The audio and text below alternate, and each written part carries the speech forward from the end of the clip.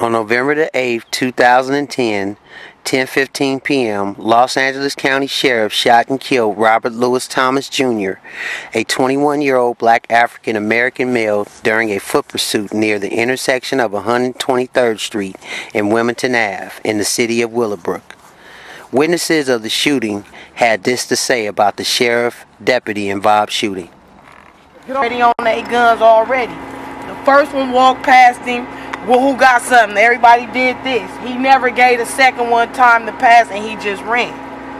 For what? I don't know. He ran, and then he they got beat right Boogie here, up when got they out beat of his sight, sister up. Killed my nigga. Shot him 12 times in the back.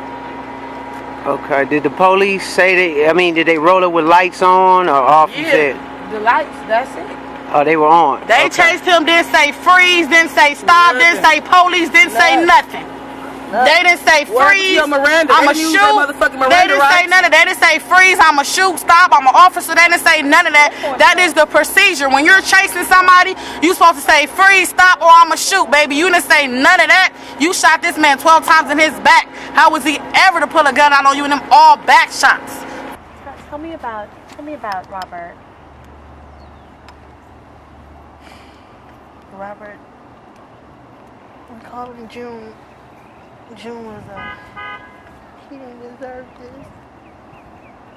He was a well. Oh,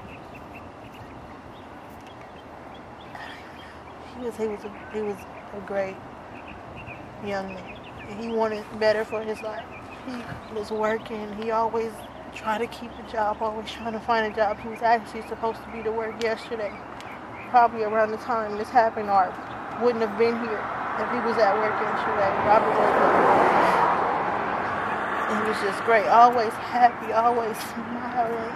He ain't never he always making jokes and if you see it that you sad, he's gonna he always try to comfort you and, and come with you with a joke and, and to make you smile and cheer you up. He wasn't no bad person. He didn't deserve this.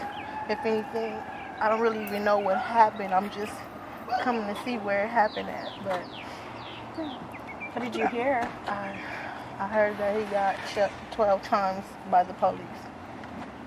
And police just shoot him and he could have tasered him. Like he was that close, he could have tasered him. He did not have to shoot him. And it's sad. It's very sad. What happened? They just showed up and they just what They they showed up with their guns drawn. Like they didn't say nothing. They already had their guns out. So they knew what they was coming for. did they say what they wanted or No. who they were looking for? Nothing. No. And then Robert ran. Mhm. And they had to shoot him like in the back, I guess. Right. Did he have a gun? Do you know? No, I don't know. I don't know. But he didn't. He wasn't aggressive towards no, them. he never said nothing to them. They never said nothing to him. Just happened just like that. hmm It happened all in two seconds. Did they say stop, come back, anything? Did they say? Not that I recall. All I remember is hearing is the gunshots. And that was it. Then you came over there. Was he conscious at all? When, know, he was just laying there. And it took the ambulance literally 20 minutes to get here. That don't make no sense. Like that long, Então é conceito.